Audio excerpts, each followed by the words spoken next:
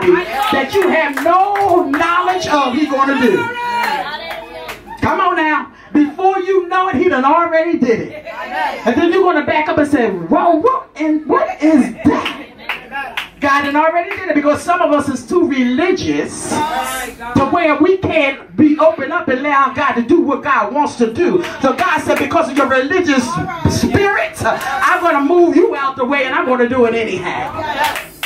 Because we've been missing too long. And time is what? Is winding up. We don't have that much time no more. How many of us study to show ourselves approved unto God? A workman need not to be ashamed, but rightly dividing the word of truth. I'm not just talking about preaching it, I'm talking about living it. Come on.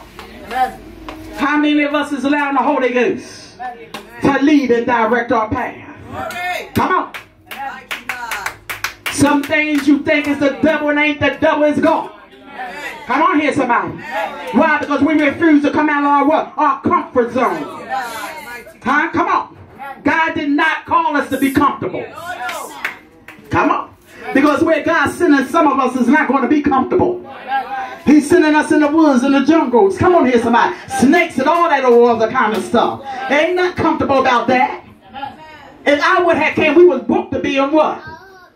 Where was we booked to be? The Marriott. I am in the Marriott. Right where I'm at right now. That is the Marriott.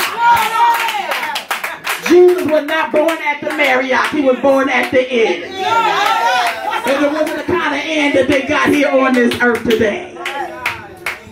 So if Jesus was able to be born in that kind